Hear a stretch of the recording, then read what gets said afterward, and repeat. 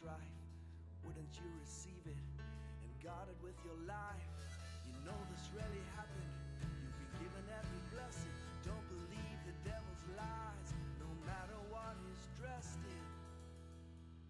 So don't, don't let the enemy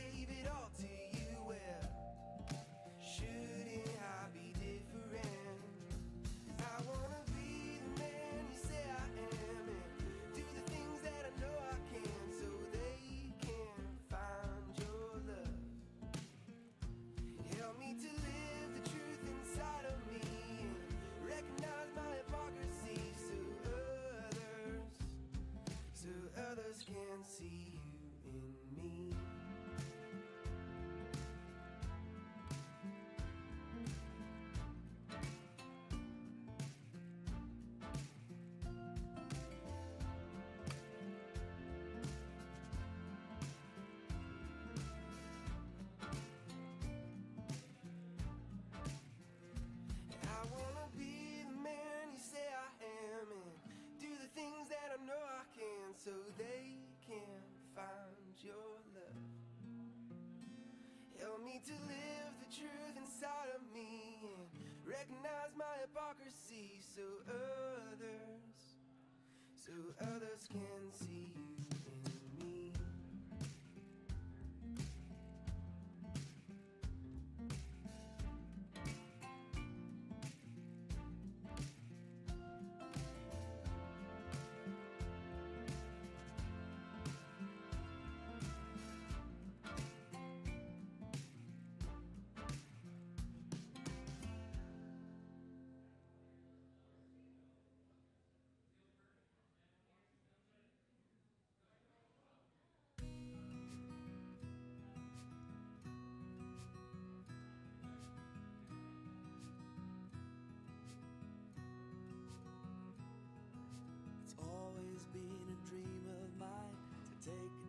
and let it ride to hit the road and see where it might lead. But dreams like that, they vanish fast. Crazy thoughts like that don't last, especially when there's little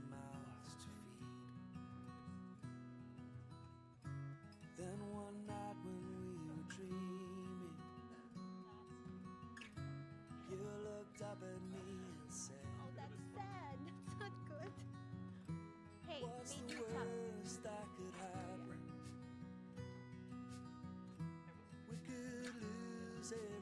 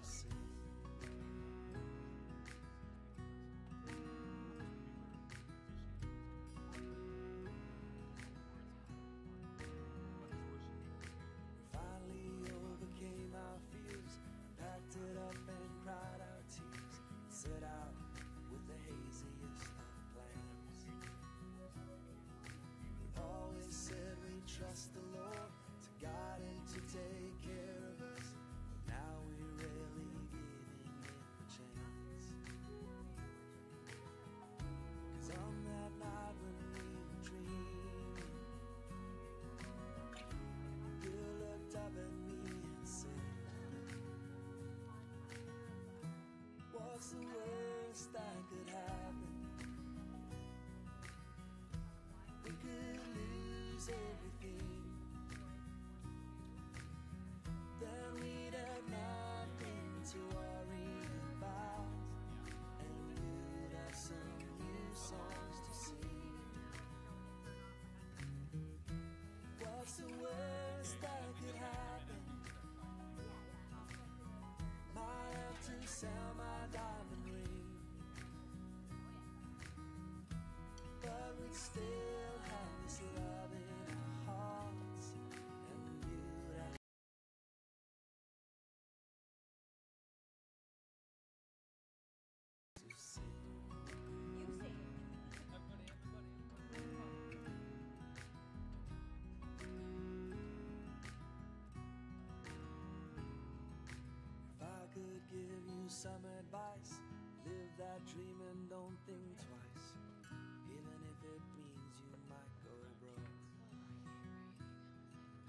All I have is one regret. It's all the times that I forget the truth in those words that she spoke. Good morning. Welcome to the bridge to everyone out listening on the speaker, getting coffee. um, anyway, go ahead and um, stand with us and we'll worship the Lord this morning.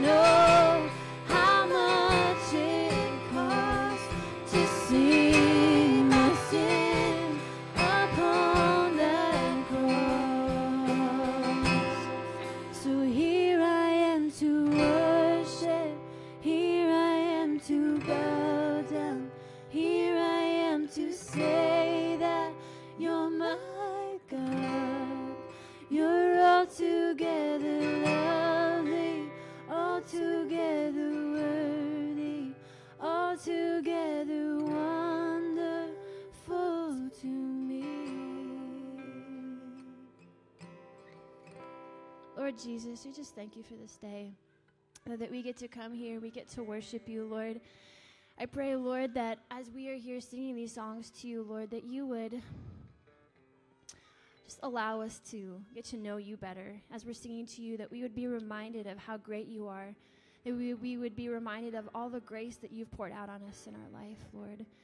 And that I pray, Jesus, even though we may never really have this like perfect understanding of what it costs for you to come down to seek and to save us, Lord, I pray that we would get a better glimpse, a better understanding and revelation of all that you've done for us, that we would know even more today how much you love us, and that it would cause us to worship you more. Just love you, Jesus. Um, I want to take a minute, real quick, um, before we um, sing a couple more songs before the message, that um, to read a verse, couple verses actually, out of uh, Colossians. Um, Colossians 1, I'm going to start at verse 15 and just read a few here. It says, He, talking about Jesus, is the image of the invisible God, the firstborn over all creation, because by him everything was created, in heaven and on earth, the visible and the invisible, whether thrones or dominions or rulers or authorities. All things have been created by him, and through him, and for him. Lord Jesus, I pray as we sing to you that we would just remember your greatness in creation, Lord, that you made us, Lord, and we would just be in awe of you. We love you, Jesus.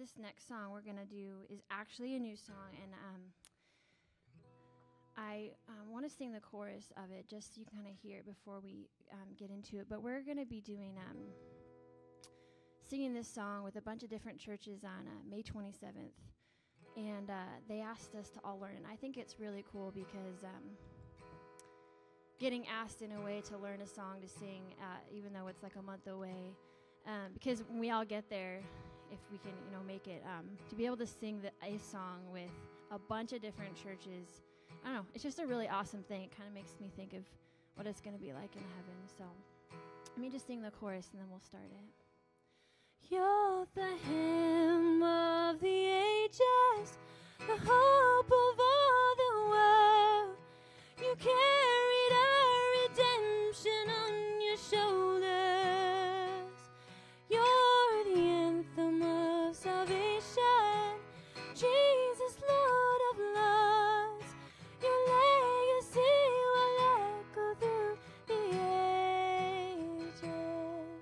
that's the chorus that we'll sing.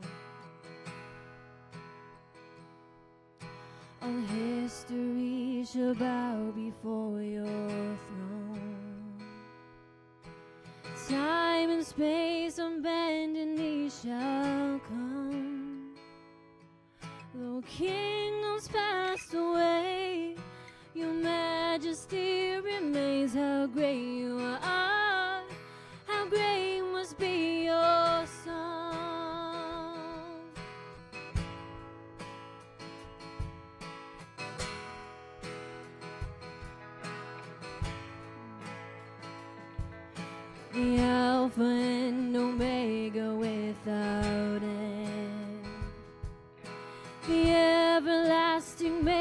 This wretch's friend. The angels stand in awe. This beggar heart responds, How great you are!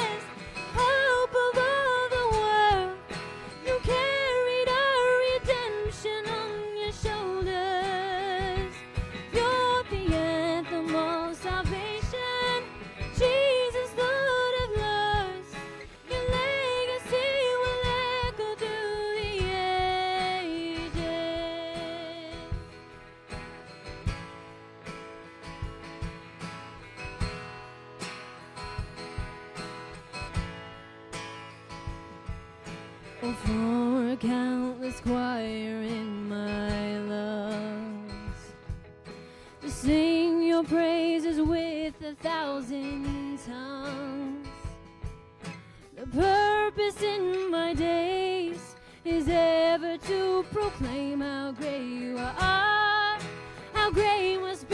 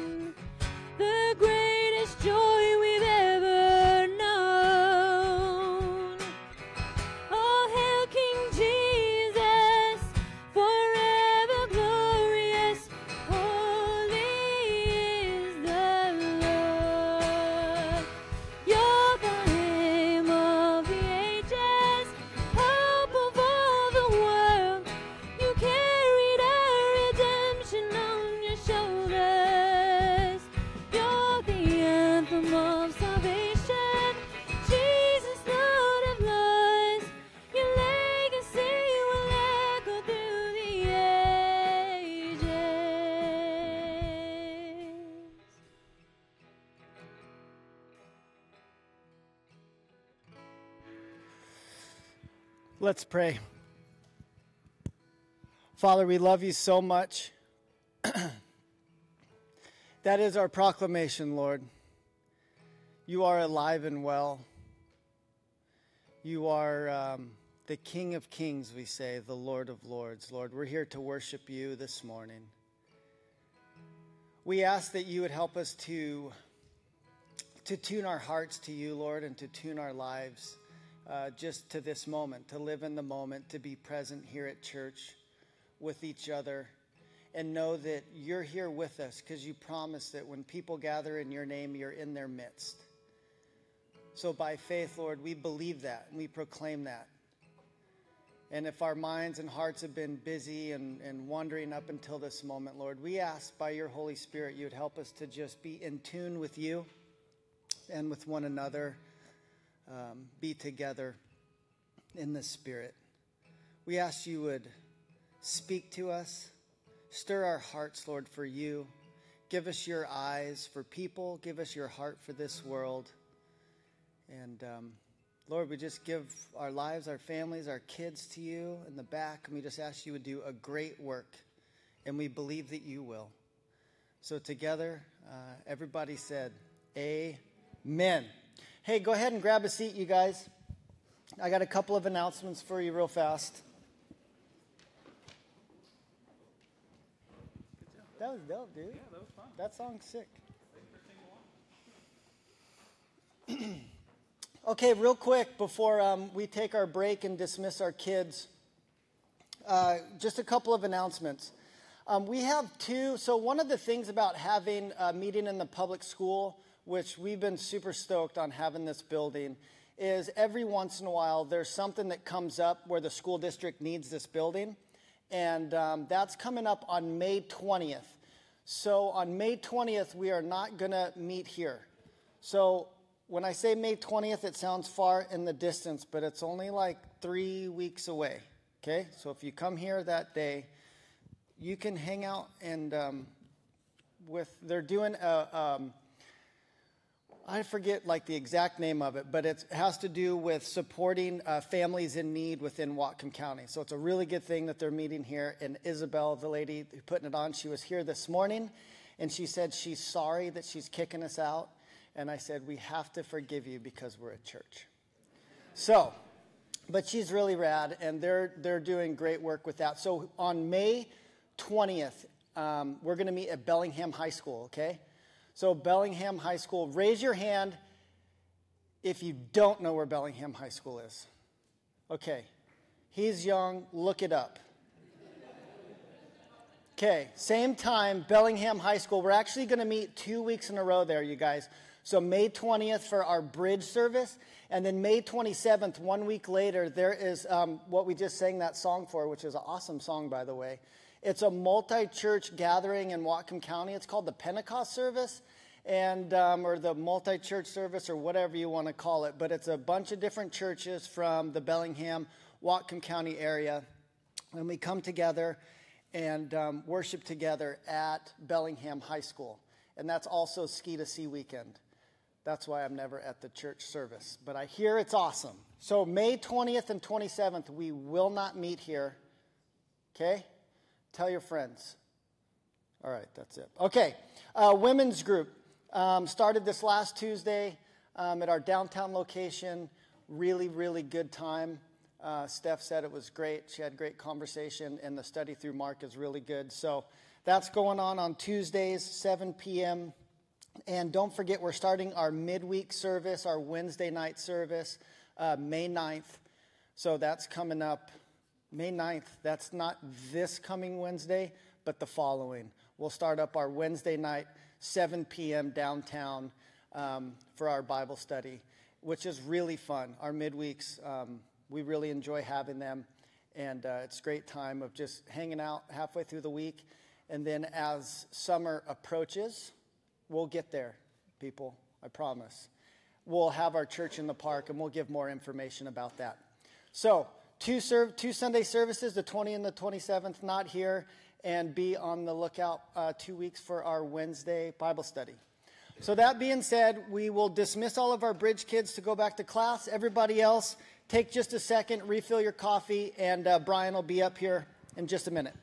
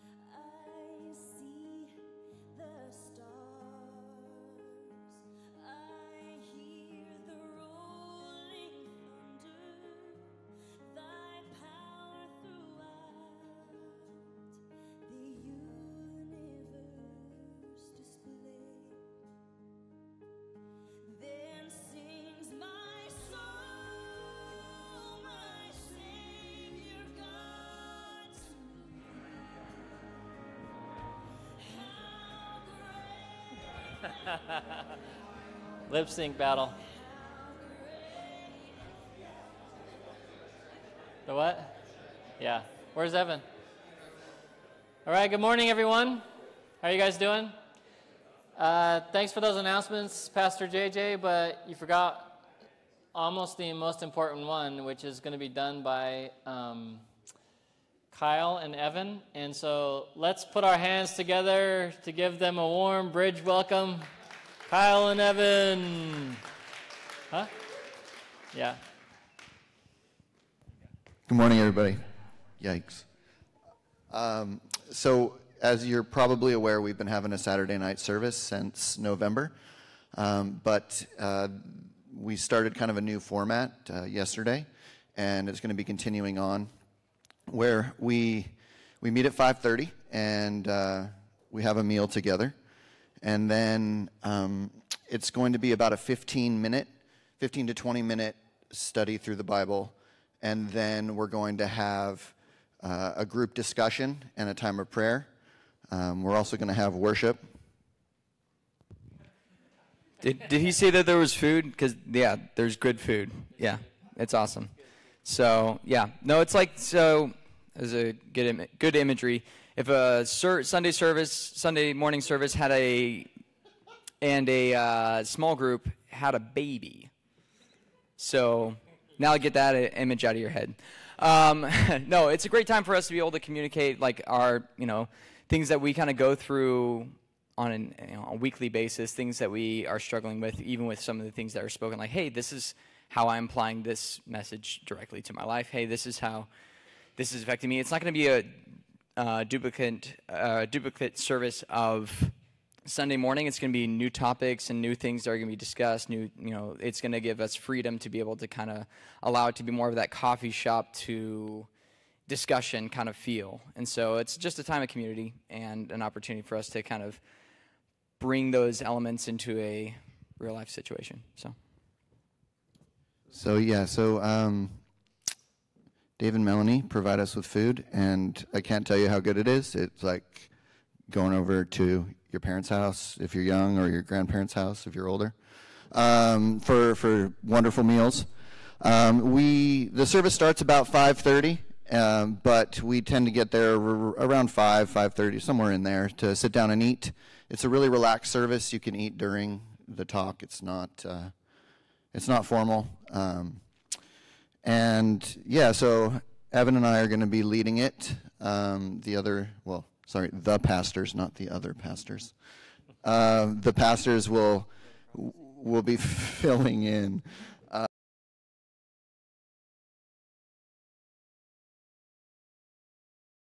doing most of the teaching, um, and I'm new to teaching, um, so I know that Saturday night isn't a normal service for people to come to, but it would be. I would feel really blessed if you guys could come in and kind of help us all grow together. So thanks.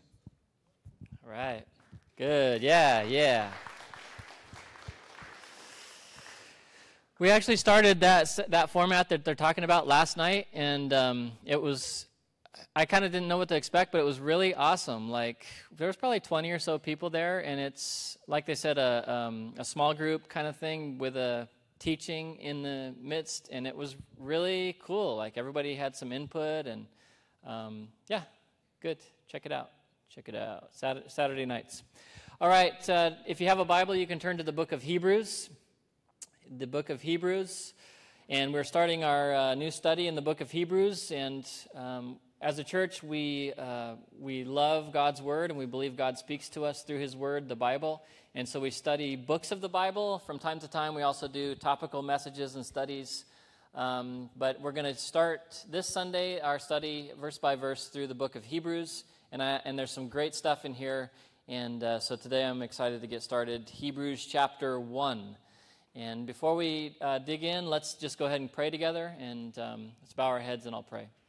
Lord, this morning th- uh, we want to thank you again for all that you're doing um, in our midst, in our church, um, in our, our city. Um, we pray, Lord, that you would at this time be with us as we study your word because we know that you want to speak to us, you want to communicate with us. you are speaking to us, Lord, and we want to just have ears to hear what you, you have to say. And so I pray that as we study your, your scripture, you would speak to us about, uh, well, first and foremost about Jesus, but also about how we as believers can walk closer uh, in our faith with him. So we pray that you would guide us in this study, and we pray it in Jesus' name. Amen. So, the title of my message this morning, as I was trying to think of some great, grand, you know, uh, introductory uh, sermon to kick off our study in the book of Hebrews, which will probably go for sev- several months, um, I came up with this really deep, uh, profound title. You put it up on the screen already? Jesus is the best. That's my title for the message this morning. It's pretty good, right? It's like, I really thought about that. It took me a couple days just to come up with the title, and, and there it is. Jesus is the best. Really, to be honest with you, that's the kind of the, the whole point, not only of chapter one, but of the whole book of Hebrews, that Jesus is better than anything else that we can ever live for, that we can ever think of, that we can ever put our efforts too. Jesus, for the, the Jewish people, um, of course, the letter being uh, titled, or the book titled The Letter to the Hebrews, written um, primarily to Jewish Christians. Now, um, you got to remember in the early stage of the church, when Jesus was crucified and then he rose from the dead, and, and then he was with his disciples for a little while, and then he ascended into heaven, and he said, uh, and then the angels said to the disciples, As you've seen him go, he will come back again. We call that the second coming, so we, we still look forward to that day when he will come back again. But until then, continue. And the church started, and we read the book of Acts. The book of Acts is a record of the early church, how they met together in public gathering places like this. They also met together um, in their homes. Um, but they all met together and gathered around one central um, theme or actually person, and that was um, Jesus. Now, in the early church, um, you have to remember it was a fulfillment of, a continuation of, um, the Old Testament scriptures, which was to the Jewish people. God's people were the Jews, the nation of Israel. And so the early church was comprised of uh, almost predominantly Jewish people. Now, as uh, time went on and the church spread and grew, and the Gentiles, Gentile is a non Jewish person, were um, welcomed into the church, and there was no difference now that Jesus had come between Jew and Gentile within the church. And so that it started to grow and spread, and now we have it today where it's spread all over the world. And, and uh, so it's a little bit different than it was in the first century there as it started. But as it started, there was a real struggle for these Jewish Christians to embrace Jesus and essentially um, not completely let go of their roots or their history or their scripture or, their, or the Old Testament um, but to see Jesus as being far superior to any of those things that they had once lived for or the way that they worshiped God. Jesus was now the fulfillment of that and superior um, to those things. And for us, it's got a direct application as well, where we may not come from that Jewish background where they were following the laws of Moses and all the different restrictions and all the things that they did. But for us, we certainly have all come from different backgrounds where we have prioritized things in our lives above God, above Jesus. And so the book of Hebrews is basically going to bring us all back and show us that Jesus is the best, better than everything else, better than any other religion that we could have thought or lived for, better even than a uh, legalistic view of God, where we are performing for God to hope that we can get His pleasure, that He will be happy with us based on our works and our own righteousness. Not at all. It's all about Jesus. He has fulfilled everything, and now He is number one. And so that's what the book of Hebrews, in a nutshell, is all about. And, um, you know, just a few things about in- introducing the book itself, the letter itself. Um, we really don't know who the human author of Hebrews was. People think it was Paul the apostle. Some people think that. Some people think it was uh, Barnabas. You guys remember Barnabas in the book of Acts? He was an encouraging guy. He was actually someone who discipled Paul in the very beginning. Some people think it was him, and there's some other views, but it doesn't say explicitly who the human author is. That's okay because we know who the real author of the book of Hebrews is, and that's God. We believe this is the Word of God, and so God is speaking to us um, in, this, in this book. And it's not written to any specific church directly. A lot of the other books of the New Testament were written to specific church congregations. For example, we just studied the book of Philippians. You guys remember that? And that was Paul writing from Rome to the church at Philippi. And it was a specific church congregation or group of churches that were meeting there in that area. And the same with the Corinthians and Ephesians, these other things. But Hebrews was not written to one particular church. It was generally written to, like I said, uh, the, the Christians who, most of them being Jewish, had, had been stuck in the past that happens to us as well as Christians, doesn't it? We get stuck in the past and we're not able to look forward to the future of what Christ wants to do and who Jesus is for us. So um, that is a little bit of an introduction. But what I want to do this morning is I want to get right into chapter one because uh, it's some great stuff and it introduces really the rest of um, what we'll be talking about through the book of Hebrews. And this is going to be, um, even though it's on Sunday morning, this is going to be a Bible study. Is everybody okay with that? to have a Bible study on Sunday morning. It may not be the most like exciting or inspirational message, you know. Um, I'll I'll say like motivational things to you from time to time, you know, like you're great, you guys are great, you're wonderful, you can do it. So you can feel good about yourself when you leave. But for the most part, this is going to be a, a study of the Bible, and I believe we believe as a church that as we study the Bible, not just to learn it, but to hear it and to apply it, that's when our lives truly are going to be changed and we're going to be better because of it. So, this is going to be a study of the scripture, and the point of everything is always going to lead back not to the scripture itself or to our own knowledge, but everything we study is going to lead us, hopefully, to Jesus. And so that's, uh, that's kind of the plan. Good? We good? All right, Hebrews chapter 1, verse 1. It says, Long ago, at many times and in many ways, um, God spoke to our fathers by the prophets. I don't know why, I just have to stop there for a second. Whenever I start reading Hebrews, and I've done this since I was a little kid, I think of Star Wars. When the beginning uh, words are going by, you know, the yellow, dun, dun, dun, and it's long ago in a galaxy far, far away. Sorry about that. I just, I just messed it up for you. My bad. Long ago, at many times and in many ways, God, see what happened? What did you think of? God spoke to our fathers by the prophets. Verse 2. But in these last days, he has spoken to us by his Son, whom he appointed to, the, uh, to be the heir of all things, through whom also he created the world. And he is the radiance of the glory of God, the exact imprint of his nature.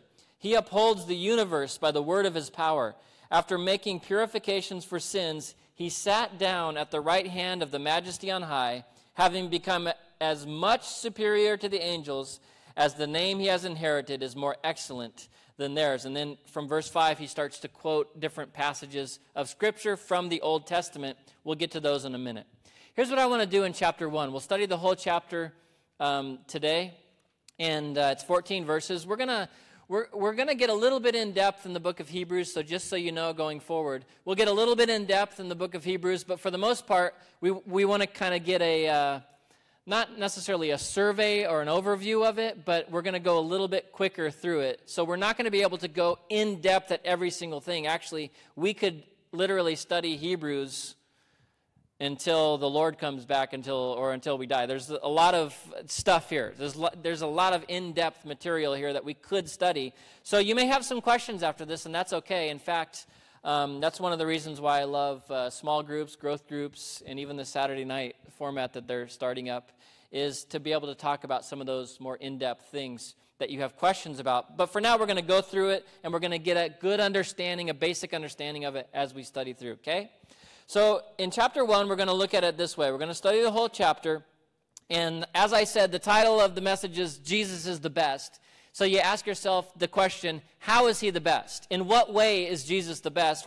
Well, that's exactly what he's writing about here in the beginning of this. And he basically points out um, three ways that Jesus is the best. Let me just tell them to you, then we'll go through and see them as we study verse by verse, okay? Number one, he is the best proclamation.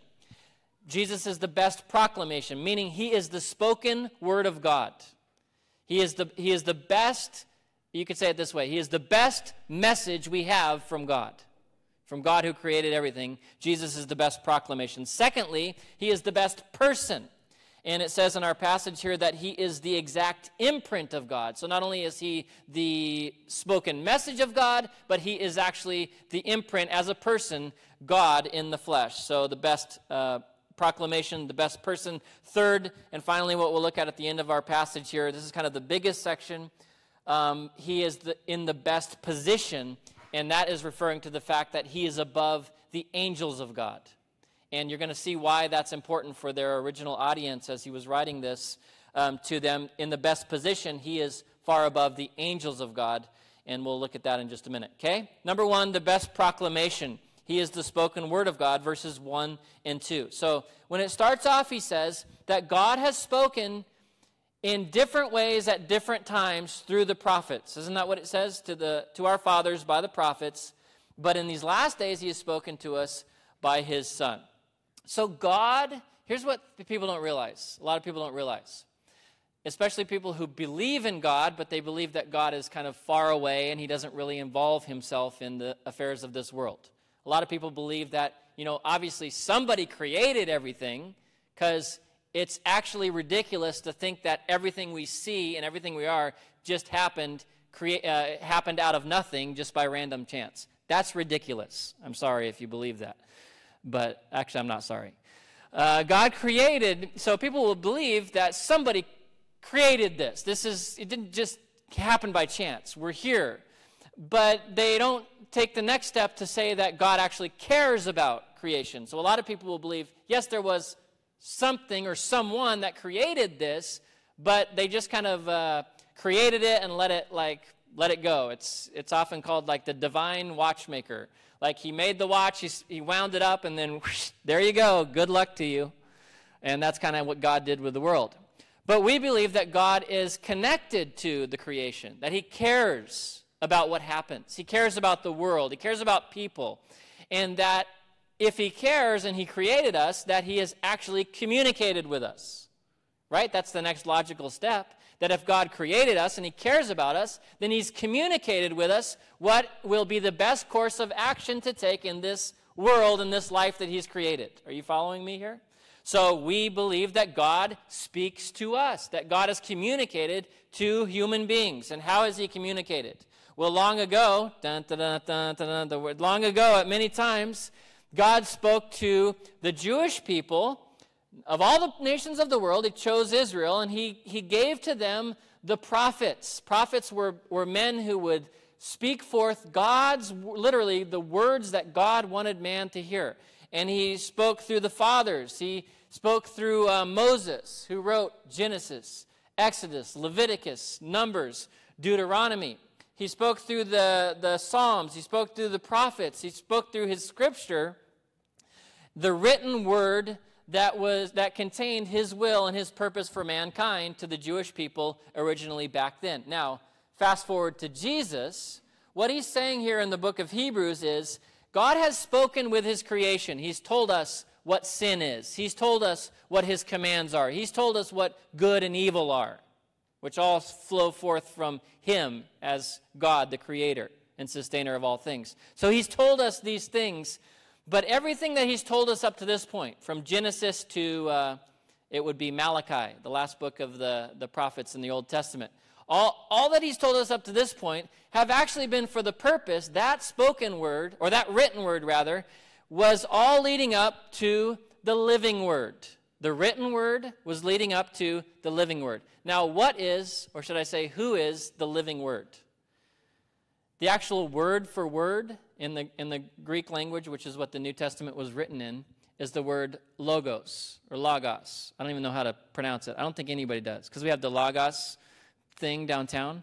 I'm like, is it logos? Is it logos? Is it lagos? you know, the smarter you are, the weirder it sounds, apparently. So let's just say logos, okay? You can correct me later.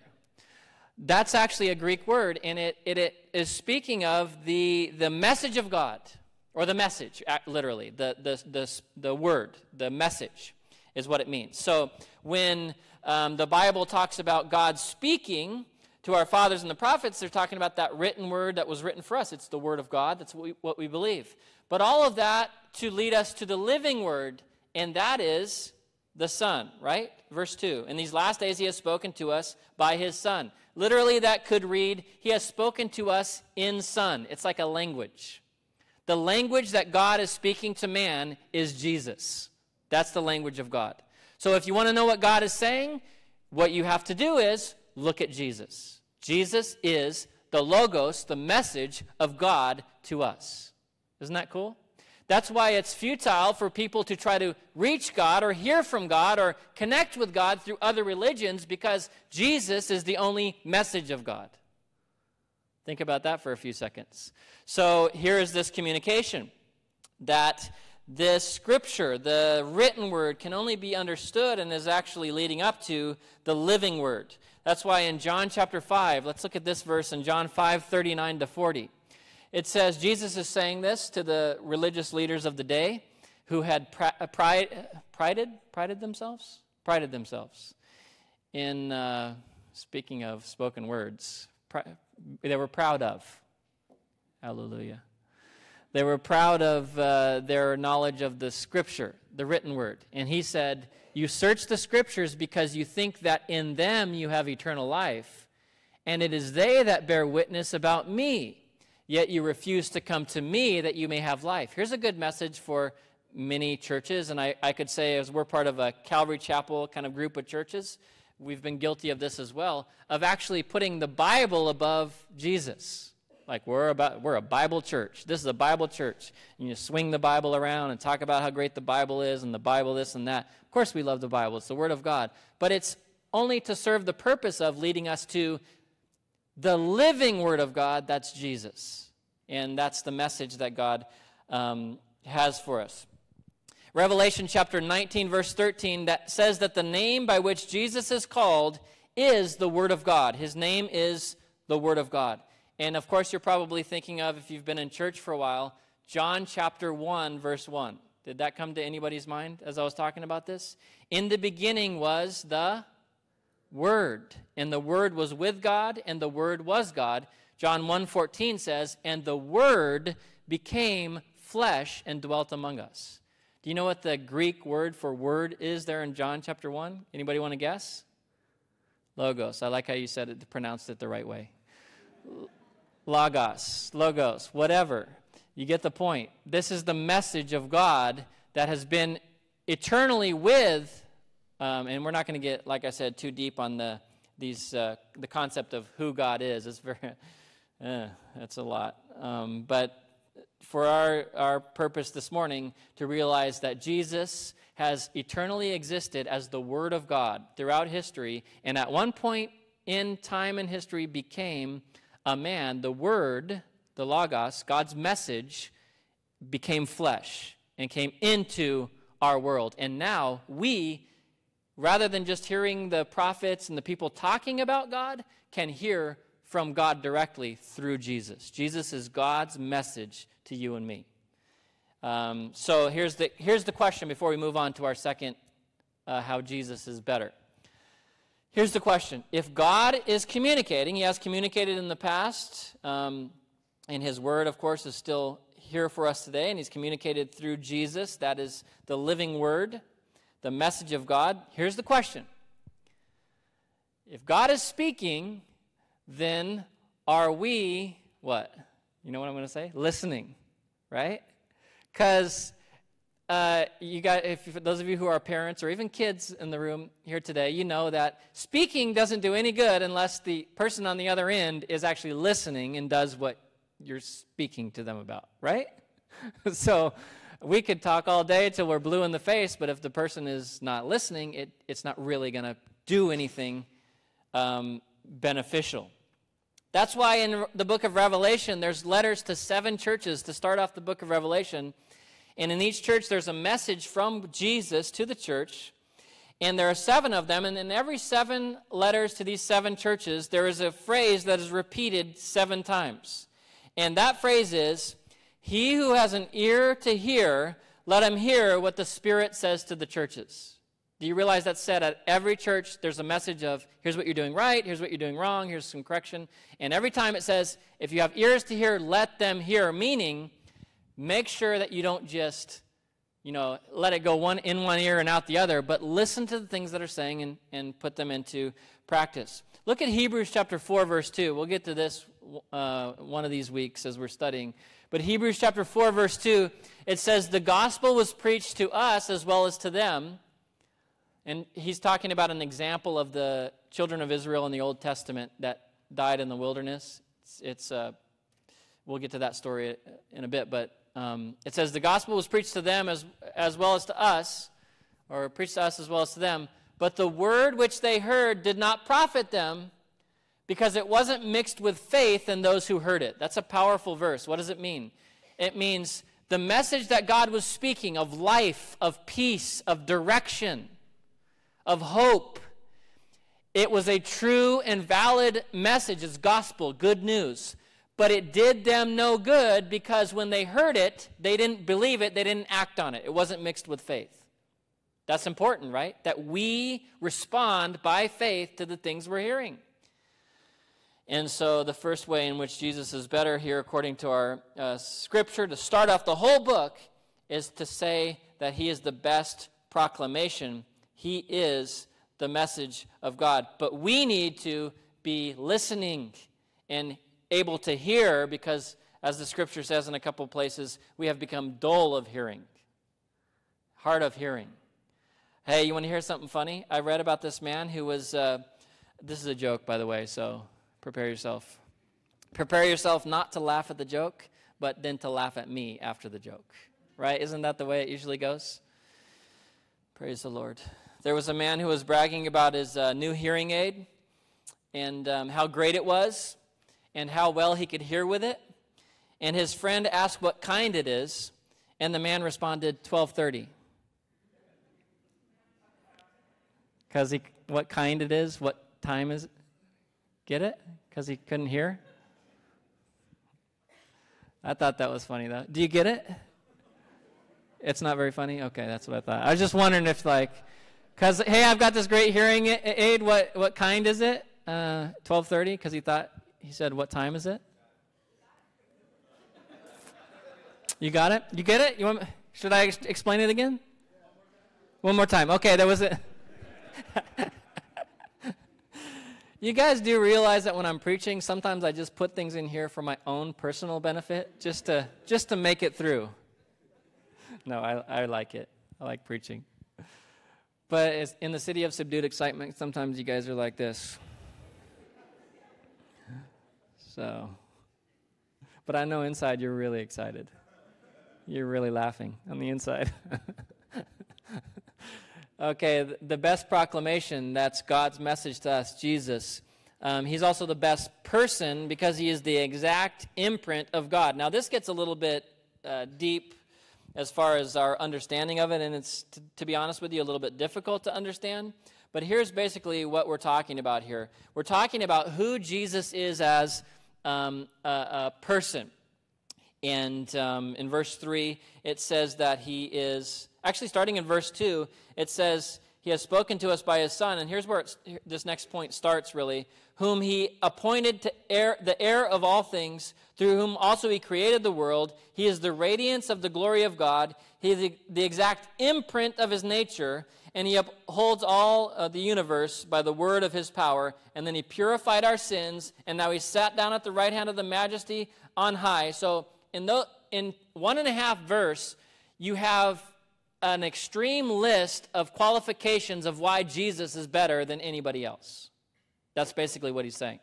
And the reason why he's better than anybody else is because, get ready for this, Jesus is God, and God is superior to anyone or anything else, right? And that's what he's referring to here.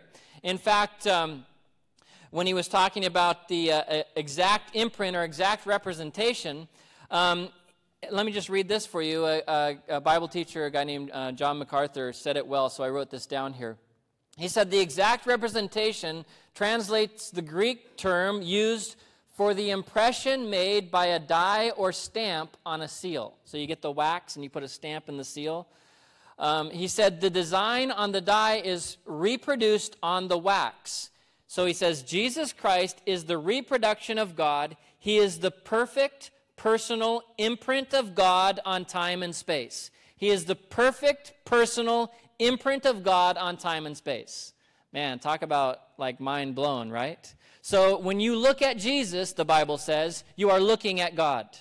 That's why Jesus said to his disciples when they said, just show us the Father and it's good enough for us. Like, show us God and then we'll be happy. Those guys were dumb though, but God used them. Praise the Lord. Just show us, you know, just show us God. So after he's raised the dead, after he's done all these miracles, after he's told them about, you know, who he was, just show us the Father and it's sufficient for us. We'll be good.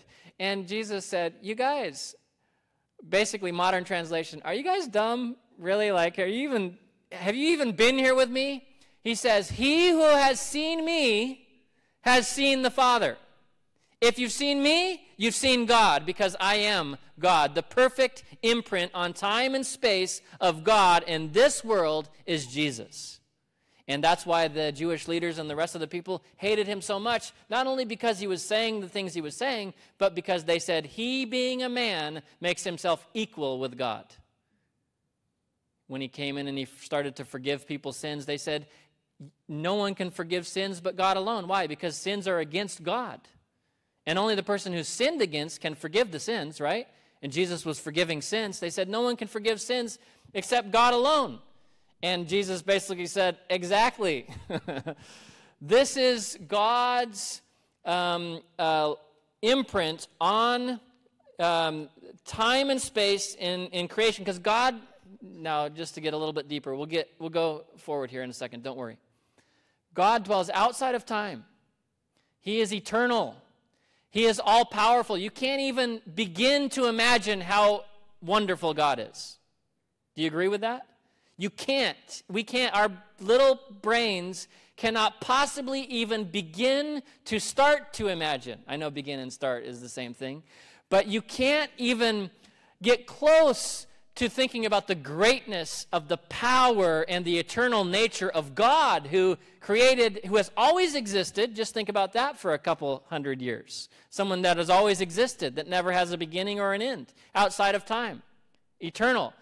That He created everything. You cannot possibly imagine the glory and the power and the majesty of God. In fact, at one place in the Bible it says, No man has seen God and lived because it would just, it would literally like blow your mind, like blow it up. just come, you know, just ball of flame. Because the, the, the power, it's like the sun. Isn't that the imagery it uses here? The radiance of the glory of God, talking about the radiance of the sun. You know, it's like, I just want to experience the sun. Go right, if you could get a rocket ship and just go right into the middle of the sun. I just want to experience everything about the sun. What happens to you? You burn up. so here we are in Bellingham. It's raining, it's raining, it's always raining. Oh, we want the sun. So we, we want the sun so bad. You see people out in the, like, look, staring at the sun. I've actually done it, to tell you the truth. Like, it's raining and dark so much, and then all of a sudden the sun, I'm like, ah, I know this is bad for me, but I like it. So we want that sun. But what we are experiencing is the, the radiance uh, from the sun. You, you get me? That's what Jesus is here in our, our passage. I'm trying to explain it the best I can. But just like the, the, the, the heat from the sun, the light from the sun, is the sun, but not the center of it, not the fullness of it. Uh, well, the, uh, it's hard to explain. Anyway, you get the point, right?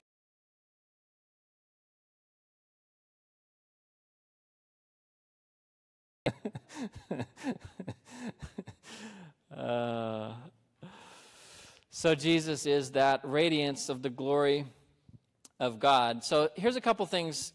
If you want to uh, lay that aside, all the, the deep thoughts about who Jesus is and being God Himself, God in the flesh, we can simply look at the reasons why uh, He says here that He is better.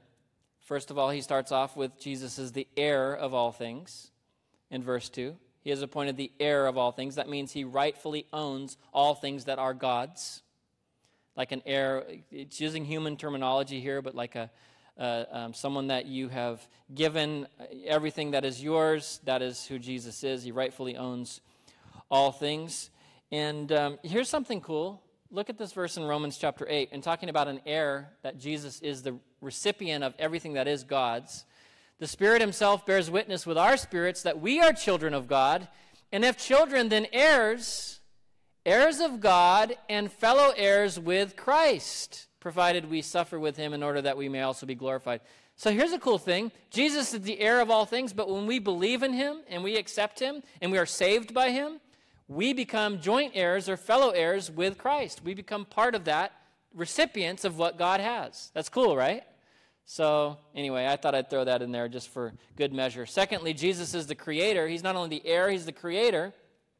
He created all things, he sustains all things. Over in verse 10, it says, You laid the foundation of the earth, the beginning and the heavens are the work of your hands.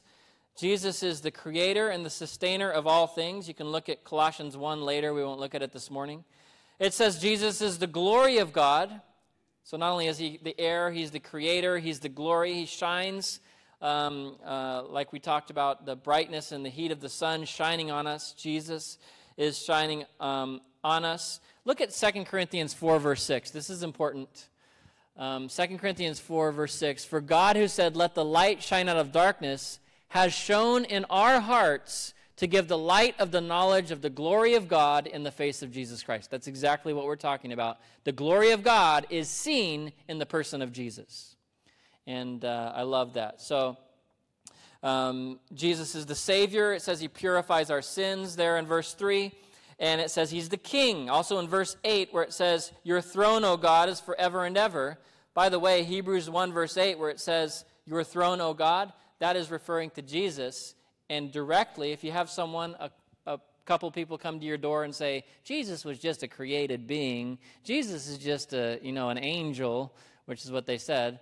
Um, he's not really God. This is a place where it says exactly that you are the king, your throne, O God, referring to Jesus as being God himself, directly in verse 8 of uh, Hebrews chapter 1. So he's the king as well. All this to say, Jesus is the best. He is the best. And uh, he, has the, he is the best person. Who he is, is God, so he therefore is the best. And finally, we'll close this morning with the best position. And I'm going to read through some of these. These are actually quotations from the scripture. And we're going to talk about this a little bit next week as well. And it refers to angels. All right? Now, when you think of angels, so I think of an angel, what the picture that comes immediately to my mind is my wife, Lynn. That, what an angel. what? You think I'm joking? Huh? You're my angel. Isn't there a song about that? Let's get the worship team up here. Not to worship you, but uh, the band. You'll be the band for this purpose. Where was I? Okay, angel. When, it, when you talk, you think about angels, we have a, our culture has kind of determined what angels mean to us, and so we can either think of like, uh, you know, a, a, girl that we really like, or a little fat baby with wings, you know, that float around the angels, like the cherubs. Cherubs? Is that it? Yeah how did that even happen? I think it was the Middle Ages, as a matter of fact, where they were, the artists were drawing them. The cherubim were actually extremely powerful creations of God, more powerful than, than human beings, and a higher level as far as their glory and power and position with God than, uh, than humans. And so these were the uh, warriors almost. In fact, in the scripture, I don't know if, uh, you know, you think of angels, that's a girl, an angel. But in the scripture, they're all men. They, are angel Michael and Gabriel, and they're powerful um, creations of God. So our culture is kind of twisted a little bit. So that's why to understand it, it's best to go back to who they were as the Jewish people. And for them, angels were the best. I'm just using that phraseology because our message is Jesus is the best. So when they would think of angels, they would think of the best, the, the, almost got to God himself. In fact, many, if you look at the book of Colossians, there's a verse in there about how they were worshiping angels. So they were to the point of almost on the level with God were angels, maybe a little bit lower, but this was the reverence, the respect, and sometimes unhealthily the worship of angels that the Jewish community had. As a matter of fact, they said that the angels were the ones who brought the Ten Commandments to Moses on Mount Sinai that was delivered. And um, it may have actually been the case, as we'll see in, later in Hebrews, it mentions it. So the angels were respected and reverenced that this is, you know, the, the highest, like there's God and angels in their culture, in their mind, in their uh, scriptural learning. So when this writer wants to say Jesus is better, he's the better uh, uh, proclamation, the message of God. He's a better person, being God in the flesh, he is the best. But he is better than the angels. That's a better position. And that's kind of the historical. Now let me read this, uh, these uh, verses, and then we'll we'll uh, I'll say just a couple more things, promise, and then um, we'll close. But to which of the angels, or sorry, verse 4, having become much superior to angels. So you, you get that cultural context. They think to angels, wait a minute. And because he has um, much superior to angels, and he has a name that he has inherited that is more excellent than theirs. The name is the Son of God. For to which of the angels did God ever say, You are my Son? Today I have begotten you, or again, I will be to him a father, and he shall be to me, to me a son. Those are quotations from Psalm uh, chapter 2, prophecies about Jesus. Verse 6. And again, when he brings the firstborn into the world, he said, Let all the angels of God worship him. So they're worshiping him. Now, let me just mention this quickly and briefly. When it's because some of you thought, wait, firstborn into the world, what does that mean? Doesn't that mean Jesus was born? And that's what some of the cult members will say Jesus was born. See, firstborn. But you got to understand the word firstborn, it doesn't mean, it's not referring to the time of someone's birth, but it's referring to the position of who they are as children. So the firstborn would be the one of preeminence, the most important one, the one that receives the inheritance. For example, Jacob and uh, um, Esau. Remember those guys? Which one was the firstborn? Esau was born first. Which one was the firstborn? Jacob. Jacob was the one who received the inheritance. He was called the firstborn. In fact, Solomon also um, is like seventh or eighth in his position of being born, but therefore called the firstborn because of his position in the, the family. So when it's talking about, I know this is a lot to take in, my apologies, but when he's saying, when he brings the firstborn into the world, what he's saying is the most important one when he came into the world, when did Jesus come into the world? Uh, Christmas. Because although he has eternally existed, he wasn't always a human being. He wasn't. He was never uh, li- physically in his human form born. In, born right. That came in a period in time, December twenty fifth, zero, A.D. I think you get the point, though. So, what he's saying here is basically his position of preeminence when he came into the world as a human that came at a certain time, even though he internally existed, there was a time when he became Jesus, named Jesus, right? They shall call his name Jesus, for he shall save their people. So, he, his name through all eternity has not been Jesus, it's word, logos. This is a lot. This is deep stuff, right? But interesting. So when he was born, what happened when on the day of his birth, when the shepherds were in the field? What happened? Somebody came out of the sky and said, "Glory to God in the highest peace," and they were worshiping. Who were those things that were worshiping him? It was the angels. So when he brings his firstborn into the world, he said, "Let all the angels of God worship him." So someone better than you is here. Go worship him. And the angels, therefore, are subservient to the Son, and they have a there's many reasons why here, but let's read verse 7. The angel, uh, of the angels, he says, he's making his angels winds and his ministers a flame of fire. But of the Son, he says, Your throne, O God, so talking to the Son, Jesus, and referring to him as God, is forever and ever. The scepter of uprightness is the scepter of your kingdom.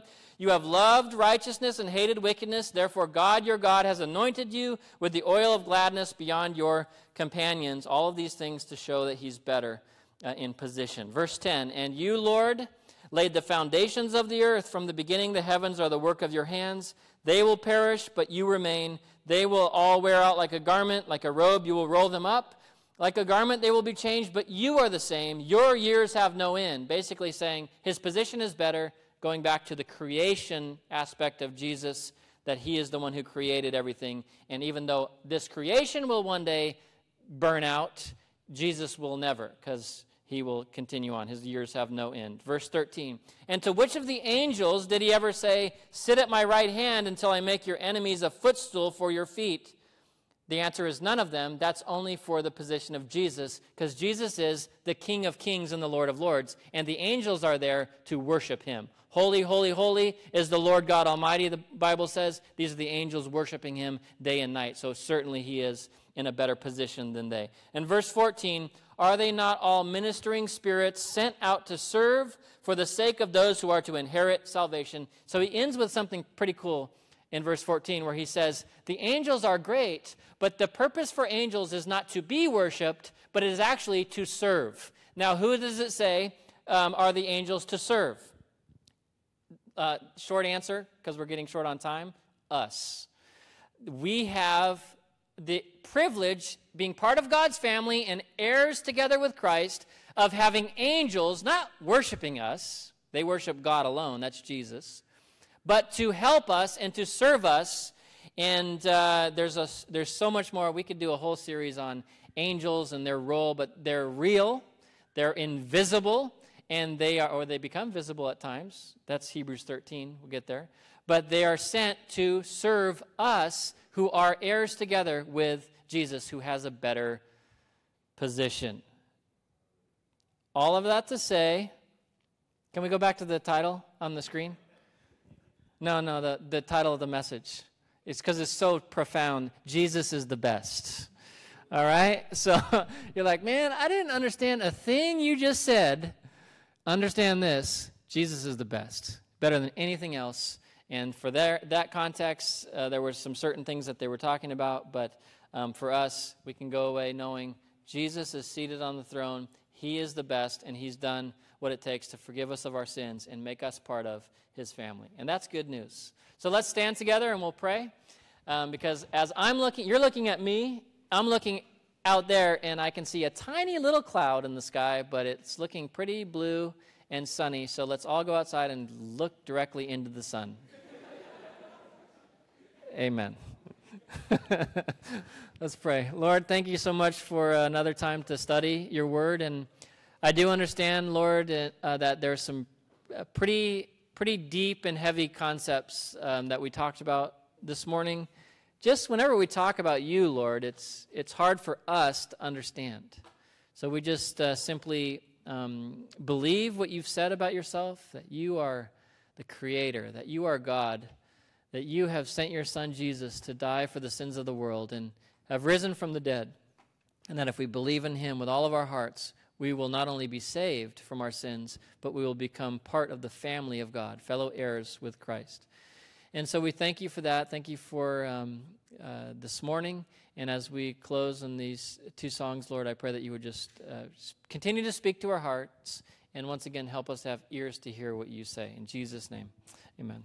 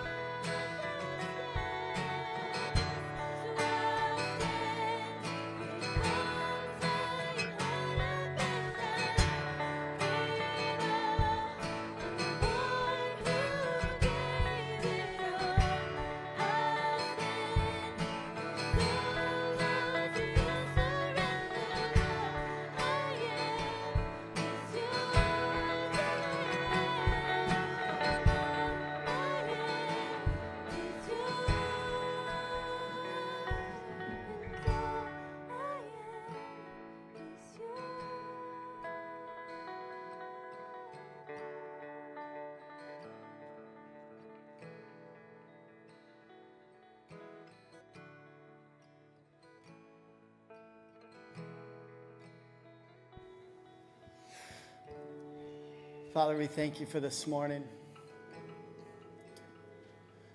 And in saying that, Lord, that we are yours, this church is yours. I myself am yours. I dedicate my family to you. I know that is the, the hearts of many people in this room. And so, Lord, at this time, as we give to you um, of our finances, Lord, it's us saying that we trust you. You have been faithful. And it's a way for us to put into practice that we really believe that you are the best, that you promise to take care of us. And by faith, Lord, we say we believe you. And it's a way of worshiping you too, Lord. So we give to you. Please receive it. Be blessed by it, even though it's just a little bit, Lord. It's from our hearts, and it's because we love you. And we give to you now in Jesus' name. Amen. And as we pass the basket, if you guys are new here or just visiting, sometimes it's confusing, but what we do is we, um, we love the Lord, and it's a way for us to, to give back what He believes He has given to us. And so don't feel obligated to give.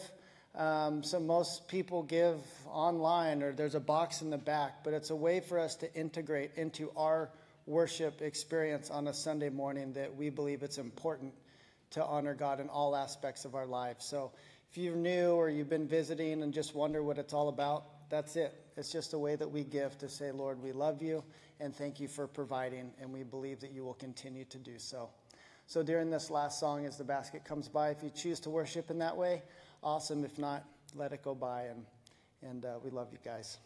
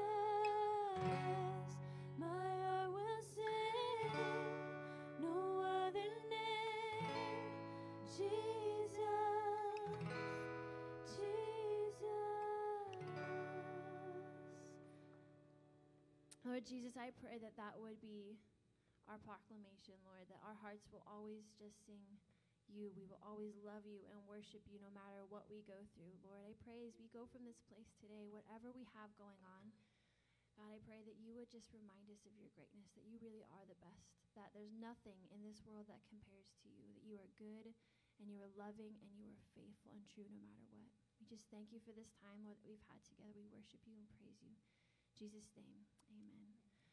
Um, before you guys go, I want to let you know um, there is going to be a prayer team up front here today. Um, David and Melanie are gonna are gonna come up, and uh, some pastors are gonna be up here. So if you want prayer, they're gonna be up here up front. Um, it'll be good, awesome. Have a great day, you guys. I hope you have a great week too. We'll see you next time.